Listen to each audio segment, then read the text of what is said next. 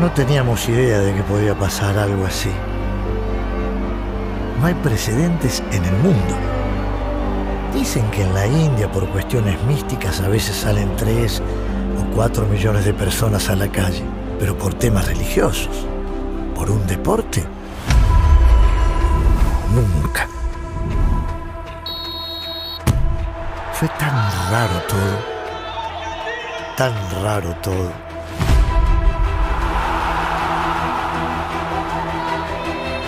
Parecía una película. Pero no fue una película.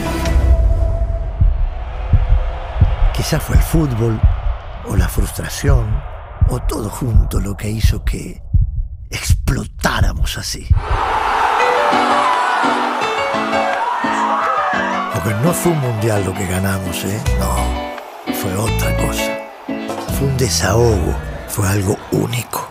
Dios en el cielo y en la tierra, como en Malvina preparado para la guerra. En la ilusión, por la tercera, 40 millones te siguen donde sea. Prepárate, ¿eh?